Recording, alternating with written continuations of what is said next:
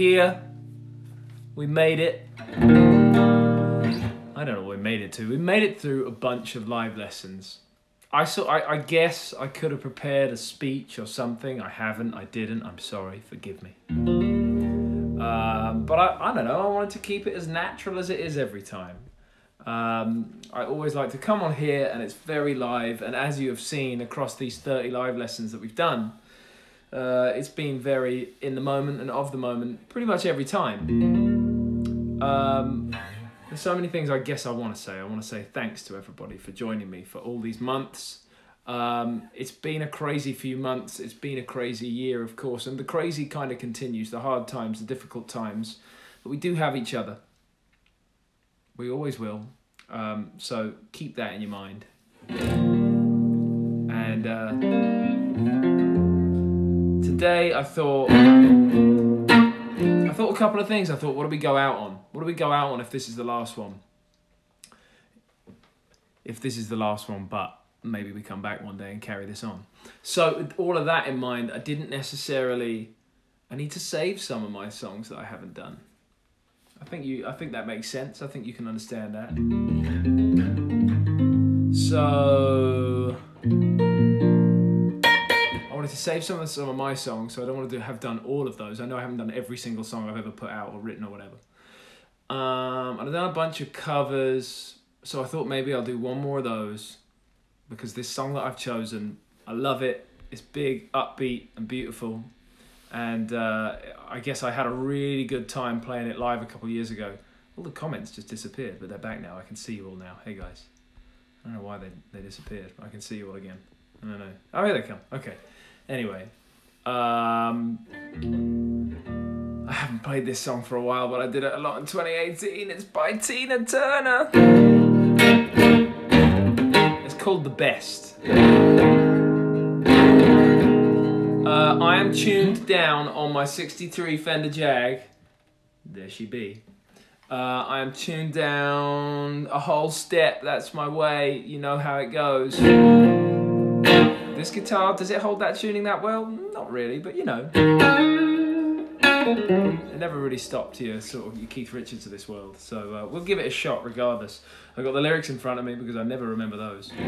So you will catch me looking over there. Why don't I tune this thing up really quick before we uh, before we have to sit through like a really out of tune performance. So I'm going to give you my best version of this with its in all its kind of glory, its, its sort of solo guitar glory, um, key change and all. Haven't sung this one for a long time. Will my pipes burst when uh, when I get there? Uh, when I get to the key change, potentially, yeah. But we've been on that ride many times together, so I'm willing to go on it again with you. Um, if my throat explodes, sorry. Uh, I don't know what else to say. I'm just going to kick it off. What did I tell you? So I'm tuned down a whole step. We're not E A D G B E. We are D G C F A D. Uh, I'm using a pick for this. There's a kind of some finger picky stuff going on. Keep your eyes on it. You'll see. You'll see what's going on. Um, I played this one a lot in the past with uh, my band. I did that a lot in 2018. We had a lot of fun. Uh, and now I'm going to do it for you kind of solo for the first time. Don't know if I've ever done it solo before. We'll see how it goes. We'll start there.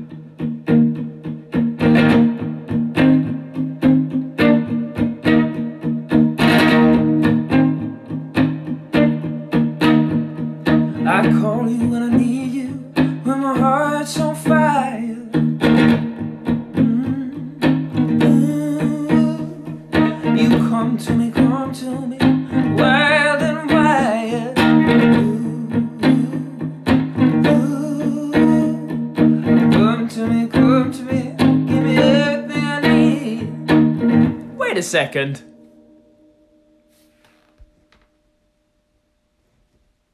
These lyrics are weird. This is not right. Call you when I need you, my heart's on fire. All right, all the Tina Turner fans in here, jump jump in with me. Call you when I need you, my heart's on fire. You me, comes to me, wild and wired. Mm-hmm. Give me a lifetime promises and world of dreams. Language of love means oh it can't be. Ah. All right, I think I worked out what went wrong. Oh, you got me. Now I got it. Here we go. We had it's the last one. It's the last live lesson. We had to have one of those. It might be our first one yet. Might be our first mess up. Take two. I call you when I need you, when my heart's on fire.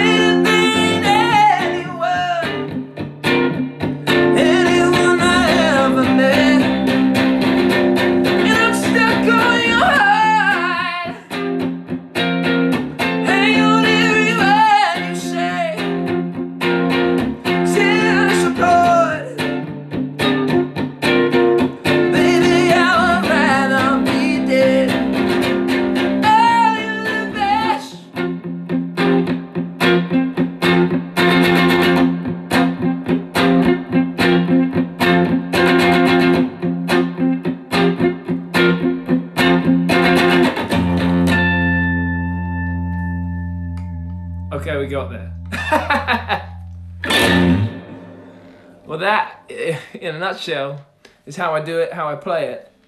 Like I said to you before, I uh, I played that song a whole lot with uh, my band a couple years ago. That's really high. I appreciate somebody writing King of Vocals because um, I don't know. I just about held held on there. That got super high. Oh, I love this song.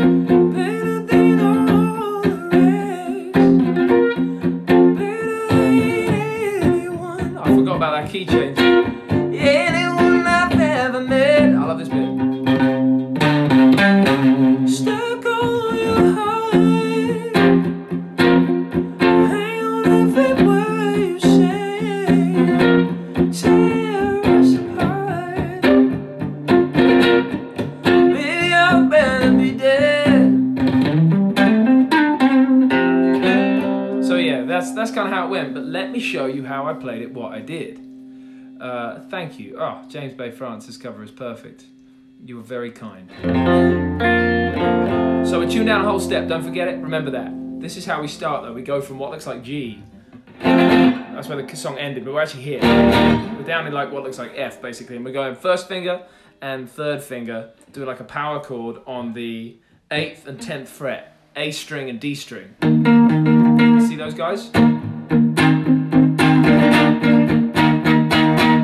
So we're going to use our pinky finger, this guy. We haven't, I feel like we haven't used this guy for a little while. So while we're holding this two fret shape here, this power chord, we're going to leave the pinky finger available, the little finger, to jump up to the 12th fret. So this is uh, on the A string, on the 8th fret, we're playing our bass note.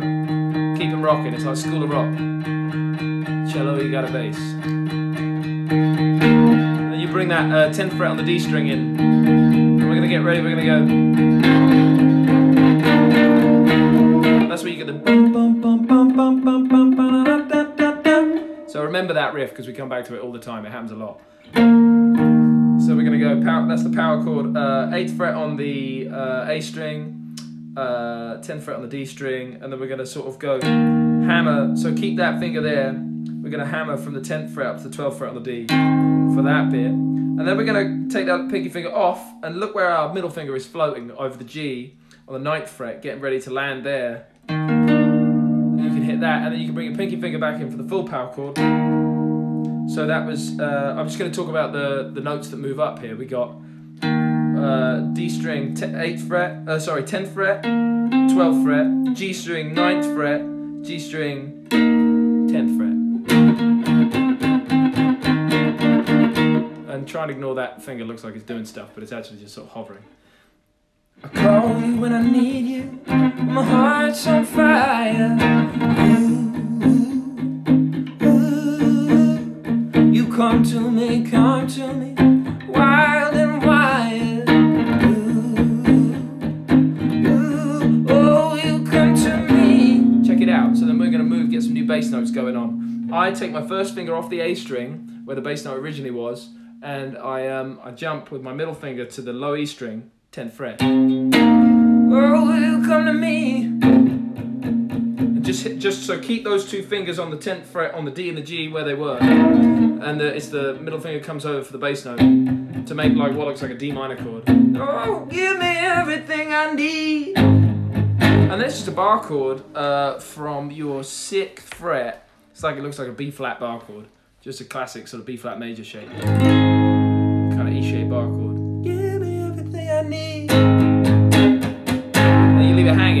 Come back.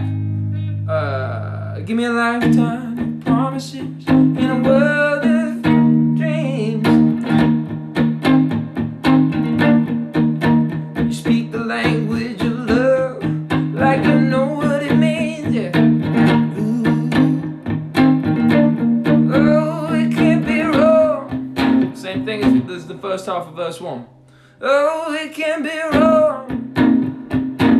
And you'll notice, guitar players will notice I'm doing a lot of palm muting with my right hand. It's kind of a lot of muty stuff. Because that then you don't get loads of jangle. The jangle's for later on.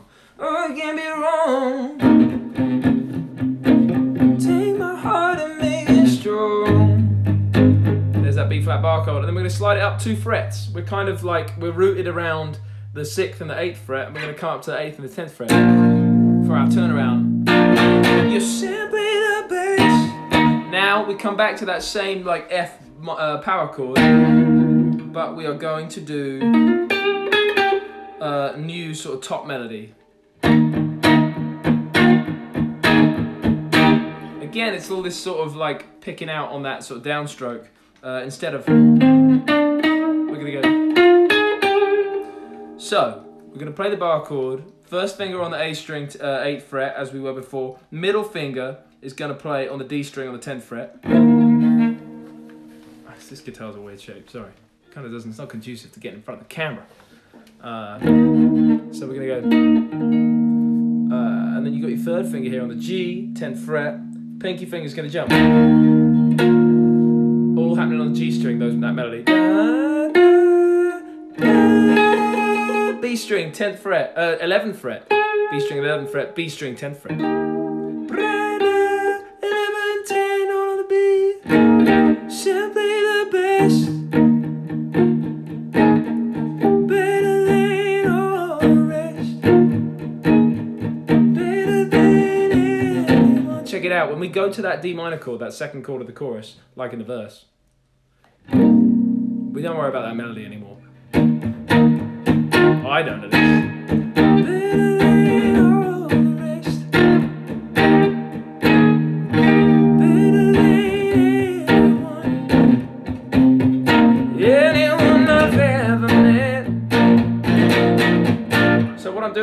D minor chord all across the it's the low E string, the D string, and the G string all on the 10th fret.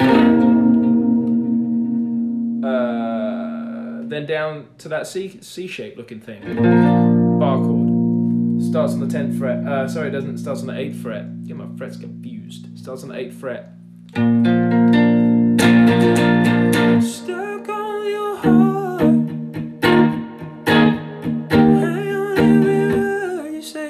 Say. My pinky finger is small too. uh, yeah, okay. Don't fully understand what you mean. Uh, don't play this in Scotland again, please. Yep, sorry. Go and watch YouTube, and you guys will all find out that I played it in Scotland in 2018, and half of the crowd loved it because they were supporters of one football team, and the other half of the crowd hated it because they were supporters of another football team. And one of those football teams' song is "The Best" by Tina Turner, but we all know it's a banger, so here I am playing it now. It was funny though at that time.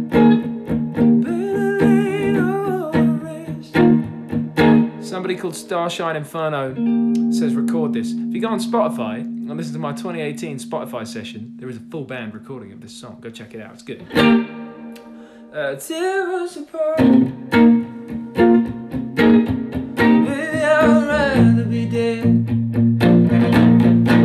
Back to the verse, verse two. Remember that? Give me a light in your heart. I see the start of every night and every day. Great spelling mistake. Tuna Turner should see this. Good old Tuna, we love her. In your heart, I see the start of every night and every day.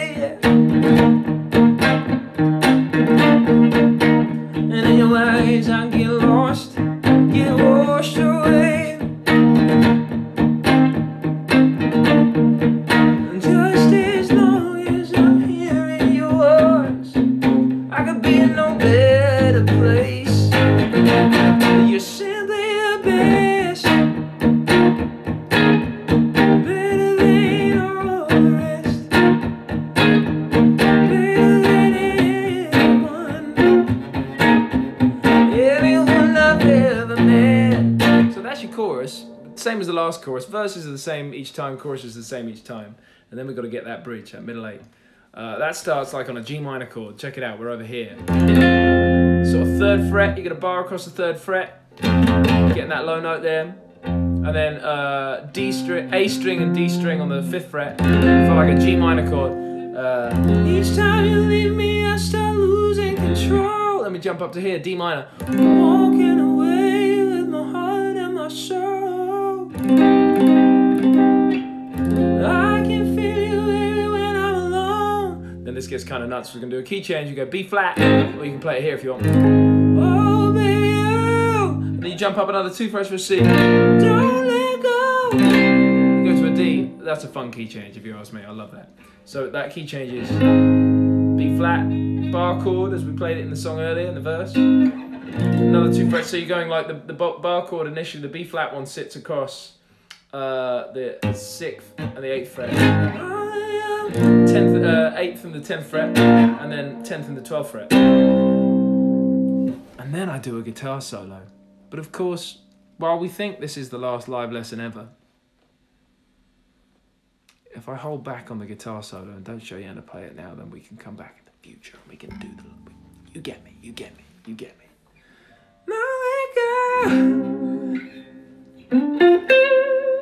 And then, as I messed up in the song, I'll tell you what I actually do. So originally, we kind of go back to our verse part for what happens underneath the guitar solo, and in Tina's version, or Tuna as somebody called her earlier, uh, it's a saxophone solo because that was the 80s and that's what you did, or the early 90s, I'm not sure.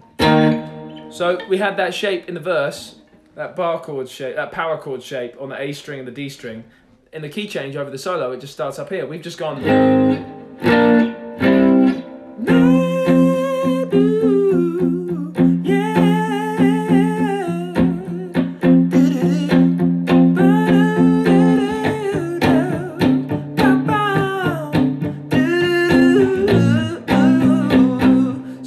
Played uh, 10th fret on the A, 12th fret on the D for like a G G kind of thing. Yeah.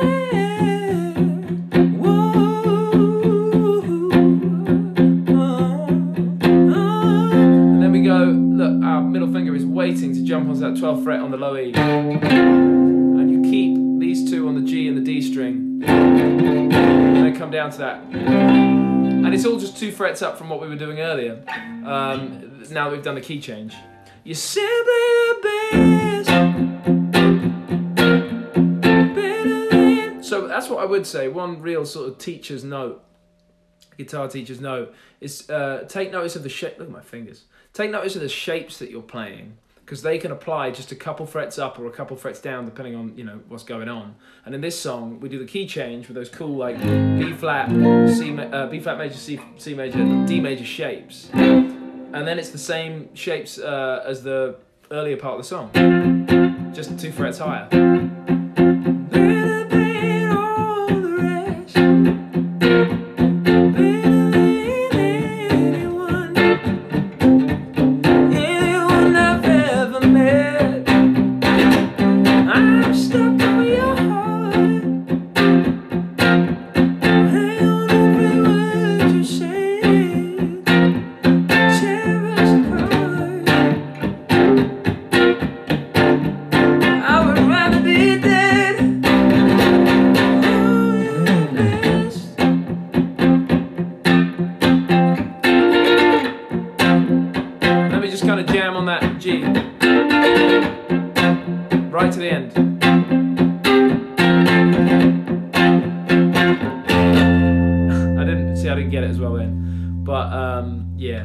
Finish on low low note, third note, third fret, low E string. And then I hit like a funky harmonic. Just for a sort of fun, kind of shiny, glistening ending. So there you have it. That's how I play simply the best. Um, and uh, it's kind of sad this, but it's not sad at the same time. It's been a lot of fun. I just want to sort of have finished the lesson for a second, move that to a side, to the side, so I can just say to everybody on here, um, thank you. It's been loads of fun. Uh, like two or three months ago, my team at the label and stuff, they all messaged me and they said, um, just so you know, this was like a couple of weeks into doing the live lessons, like eight weeks into doing the live lessons actually. They said we're at three million streams of, of the live lessons because I've been putting them on my putting them on my Instagram and I've been putting them on my uh, YouTube. This these will all go up, up on my YouTube. You can go and watch them back. On this one, you can watch me mess up and you can watch me try and sort of salvage a brilliant song and my version of it. um, uh, but we we we've racked up a whole bunch of plays and views, and uh, it's all thanks to you guys. I'm gonna say just a special thank you, um, if I may, to uh, James Bay USA, James Bay France, James Bay Colombia. There's the James Bay Guitar Geek account. There's all these glorious, lovely, wonderful, super incredible fan accounts, and I've not mentioned some of them as I've called them out there, and there are more. And thank you all so much um, for what you've done for the live lessons. I think really uh, their heart has uh, the, the live lessons heart has only beat louder because of you guys, um, and it means the world. It means the absolute world that you that you helped me really promote this thing, um, and we built this community that we built, and we um, and we've had the time that we've had. I got to get busy. I got to tell you that I'm going to go away, and the reason one of the reasons I'm not doing the live lessons anymore um, is this. I mean, I'll put it in one sentence for you. There's so much more exciting stuff to come. And of course, you know, we've had such a good time and created this community here. So maybe the next thing that happens isn't live lessons, it's something else that replaces. If you've got any ideas, fire them at me. I want to hear them. Uh, I'm coming up with some stuff myself, so uh, you know, stay tuned for for other stuff. But in the meantime, it's been such a joy. Thank you, and um, be safe, be well, be kind to each other, look out for each other. Uh, we will all be back in a room at some point. Um, it will happen. It's slow, but progress is being made. Um, until then, this has been awesome. You guys are lovely and wonderful. Uh, I thank you for everything. And um, if I don't go now, I'll do something like cry and keep saying thank you. Nobody needs that. Thank you, everybody. See you later.